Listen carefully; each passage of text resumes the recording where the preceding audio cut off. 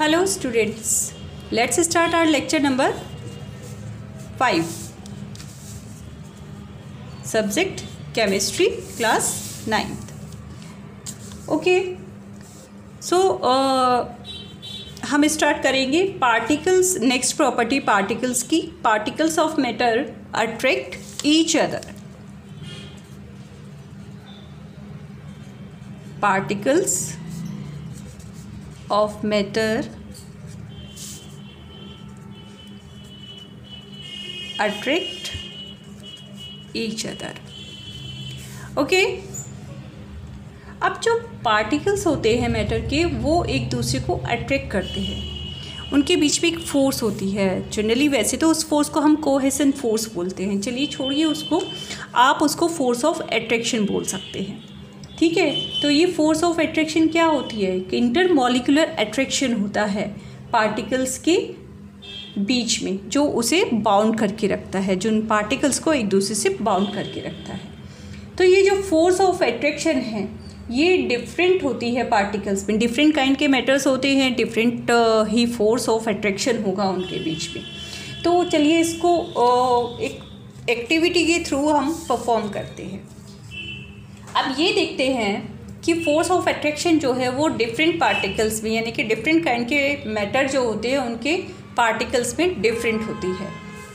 इसके लिए हम कुछ सैम्पल्स लेंगे, जैसे कि हम चौक ले लेते हैं चौक का पीस ले लेते हैं चौक और एक पीस आइस का ले लेते हैं ओके एक ले लेते हैं हम आयरन नेल कील जो होती है ना आयरन नेल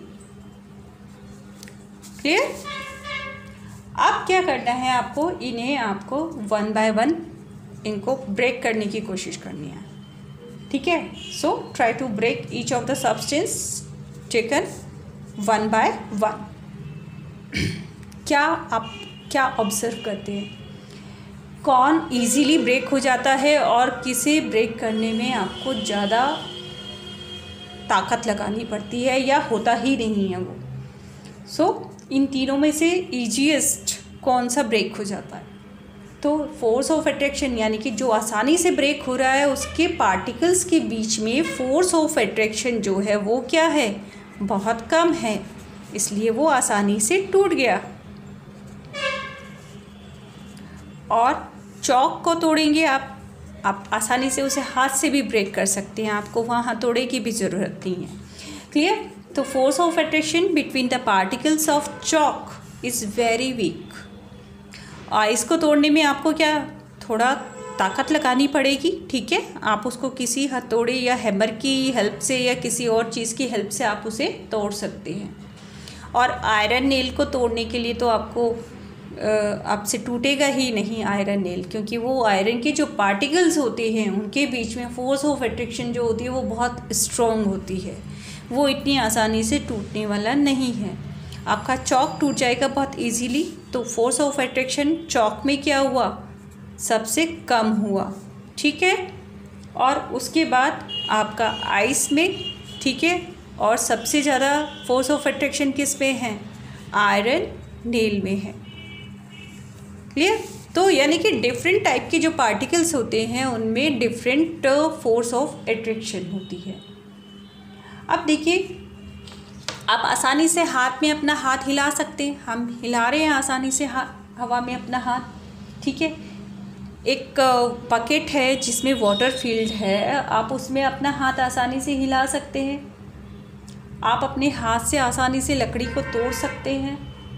क्या क्या काम आप इजीली कर सकते हैं? और आपको ये भी देखना है कि किसमें आपका फोर्स ऑफ़ एट्रैक्शन जो है वो कम है, सबसे कम है लीस्ट है और किसमें सबसे ज़्यादा है।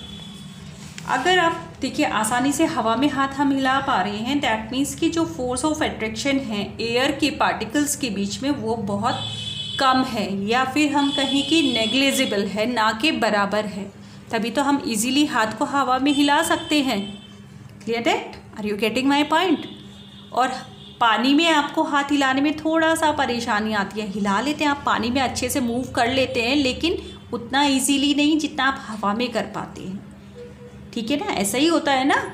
ठीक है? तो यानी कि वहाँ वाटर में आपका फोर्स ऑफ़ अट्रैक्शन थोड़ा ज़्यादा है। अब वही चीज़ आप लकड़ी पे, ये हमने थर्ड क्या लिया था वुड इसके बीच में आप, इसको आप हाथ से ब्रेक कर सकते हैं, यानी कि आप इसको वुड के बीच में अपने हाथ को लेके जाना है। तो आप आसानी से ले जाएँगे? नहीं। क्यों? क्योंकि ये बहुत प्रैक्टिकली भी आप करके देखेंगे तो आपसे लकड़ी ऐसे नहीं टूटेगी। ठीक है? दैट मीन्स कि जो फोर्स ऑफ़ अट्रैक्शन है, इसके पार्टिकल्स के बीच में वो बहुत ही स्ट्रॉन्ग है। वो इजीली नहीं टूटने वाली। क्लियर तो ये आपको पॉइंट क्लियर हो गया। Particles of matter attract each other attract तो करते हैं, लेकिन किसी में कम हो सकती है या फिर किसी में ज़्यादा भी हो सकती है। ओके? तो ये कुछ एग्जाम्पल्स हमने देख लिए हैं, कुछ एक्टिविटीज़ हमने देखी है, जिससे हमें पता चल चुका है कि फोर्स ऑफ़ अट्रैक्शन कितनी स्ट्रॉन्ग हो सकती है और कितनी लिस्ट हो सकती है। कुछ चीज़ों को हम हाथ से आसानी से ब्रेक कर सकते हैं। कुछ चीज़ों के लिए हम हैवी हैमर भी यूज़ करते हैं तो भी नहीं टूटती है। ओके? चलिए। तो आई थिंक आप लोगों को जो आपके मैटर के करेक्टरिस्टिक्स थे, वो आपको समझ में आ चुके होंगे। क्या क्या करेक्टरिस्टिक्स थे? एक तो जो भी मैटर होते हैं they are made up of particles okay? Second the size of particles are very very small clear and third is third क्या था? जो पार्टिकल्स होते हैं, उनके बीच में क्या होता है? They have space between them clear उनके बीच में स्पेस होता है। नेक्स्ट क्या था? They are a continuous motion वो लगातार मोशन करते रहते हैं। और लास्ट क्या था आपका? Particles of matter attract each other okay I think ये सारे पॉइंट्स आपको एक्टिविटी के थ्रू आपको बहुत अच्छे से क्लियर हो गए होंगे। चलिए आप अपना नेक्स्ट जो टॉपिक है वो डिस्कस करते हैं। वो क्या है आपका? States of matter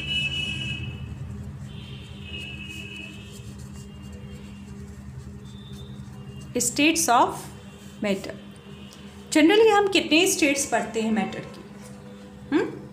solid liquid and gas यही पढ़ी है ना आपने अब तक। Solid liquid and gas okay तो नॉर्मल कंडीशंस में अगर हम देखें नॉर्मल टेम्परेचर और नॉर्मल प्रेशर पर देखें तो मैटर इन तीनों में से किसी भी स्टेट में एग्जिस्ट कर सकता है। ठीक है? इधर इट इज़ सॉलिड लिक्विड और फिर गैस गैसेस फॉर्म में। जैसे कि आपका वाटर है वाटर तीनों फॉर्म में एग्जिस्ट करता है आपका। आपका सॉलिड होगा किस फॉर्म में? आइस की फॉर्म में लिक्विड होगा वाटर की फॉर्म में, और जो वेपर्स होती हैं, उसकी स्टीम जो होती है, वो आपकी किस फॉर्म में होती है? गैसेस फॉर्म में होती है। अब, जो ये तीनों आपकी फॉर्म है सॉलिड लिक्विड एंड गैस इनकी हम करेक्टरिस्टिक्स पढ़ेंगे और उनको डिस्कस करेंगे। इनमें से बहुत सारे क्वेश्चंस पूछ लिए जाते हैं, इनसे रिलेटेड रीजंस रीजनिंग क्वेश्चंस जैसे गिव रीज़न वाई ऐसा क्यों हुआ? तो इस तरीके के क्वेश्चंस पूछ लिए जाते हैं। तो आपको बहुत ध्यान से पढ़ना है ये टॉपिक भी। ठीक है? देखने में तो बहुत ईजी है, लेकिन क्वेश्चंस बहुत सारे आ जाते हैं इसमें से।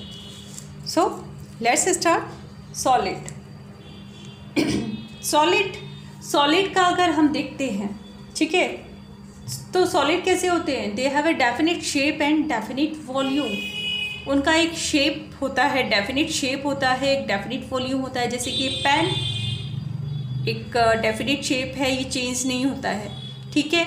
और वॉल्यूम भी इसका डेफिनेट है। आपकी ये टेबल है चेयर है ठीक है? बुक्स हैं आपकी आ, या फिर शुगर है आइस है आयरन है, कॉपर है these all are the solids ये सभी सॉलिड हैं।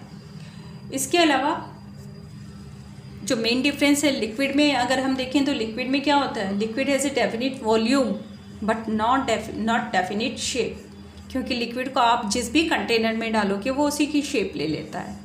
लेकिन वॉल्यूम उसका उतना ही रहता है, वो चेंज नहीं होता है। तो डेफिनेट वॉल्यूम तो होता है, पर डेफिनेट शेप नहीं होती है। जैसे कि आपका वाटर हो गया ठीक है? आपका मिल्क है, ऑयल है, पेट्रोल है, डीजल है, कैरोसिन है ठीक इसी तरह से गैस। गैस जो होता है आपका, ना तो इसका वॉल्यूम ही डेफिनेट होता है और ना ही इसकी शेप डेफिनेट होती है। दोनों ही चीज़ें चेंज हो जाती हैं। जैसे कि steam, oxygen, nitrogen, carbon dioxide, chlorine, ये सभी क्या हैं? These are in the gaseous form ये सभी गैसियस फॉर्म में होती है। ओके